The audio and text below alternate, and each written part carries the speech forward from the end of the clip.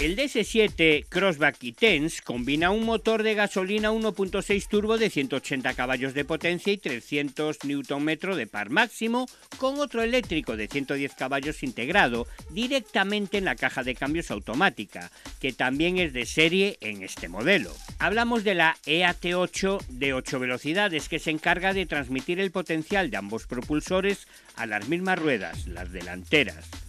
En total son 225 caballos de potencia para un vehículo que declara un consumo de 1,6 litros a los 100 kilómetros y unas emisiones de 35 gramos de CO2. Así que sí, tiene la etiqueta cero de la DGT asegurada.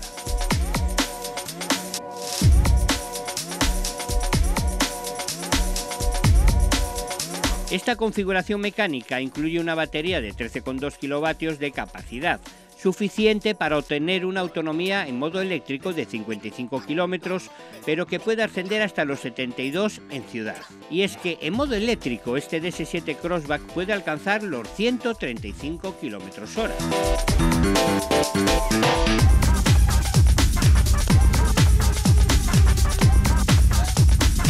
Las posibilidades que ofrece este sub con este nivel de potencia y un consumo tan bajo son muy amplias tanto como vehículo de uso diario con el que desplazarnos sin gastar gasolina, como coche familiar con el que afrontar viajes largos gracias a su maletero de 555 litros y su depósito de combustible de 42.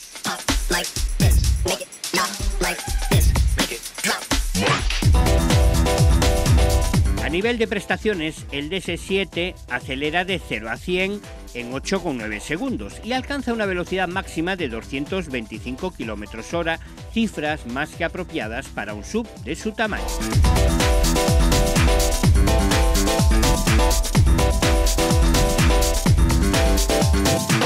Estéticamente la Calandra se encuentra unida a unos faros rediseñados con unas formas más agresivas y modernas. Estos tienen una tecnología que de se llama Pixel LED Vision 3.0 y cuentan con hasta 84 LEDs por módulo con los que iluminar hasta 380 metros de distancia. De la zona baja de estos derivan las luces diurnas en posición vertical, la cual está dividida en cinco tiras y le dan un toque realmente parecido a lo que ya podemos ver en otros vehículos de Stellantis.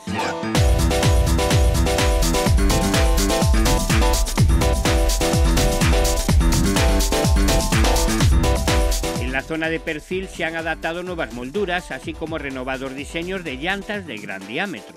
La carrocería, además, puede estar decorada en un total de seis tonalidades, con las que poder personalizar el sub electrificado. Pasando a su zona trasera, este integra ahora unos grupos ópticos levemente retocados, ya que mantienen sus formas primigenias, así como nuevas molduras y decoraciones específicas de cada versión mecánica. El resto de elementos guardan prácticamente las mismas formas que ya conocíamos.